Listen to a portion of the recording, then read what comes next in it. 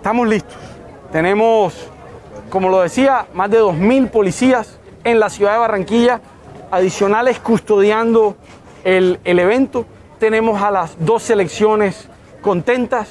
Tenemos un escenario inigualable en Latinoamérica, el Estadio Metropolitano de Barranquilla, que cada día está más bonito, más preparado y vamos a tener las puertas abiertas desde las 11 de la mañana, 89 electores para el ingreso, puntos de vacunación masivo en los afueras, una gran fiesta del fútbol, una gran fiesta para los colombianos y recordarlos, a vacunarnos, a usar el tapaboca y a seguir manteniendo la cordura, la cordura para que Barranquilla siga siendo la ciudad que más genera empleo y que más oportunidades tiene.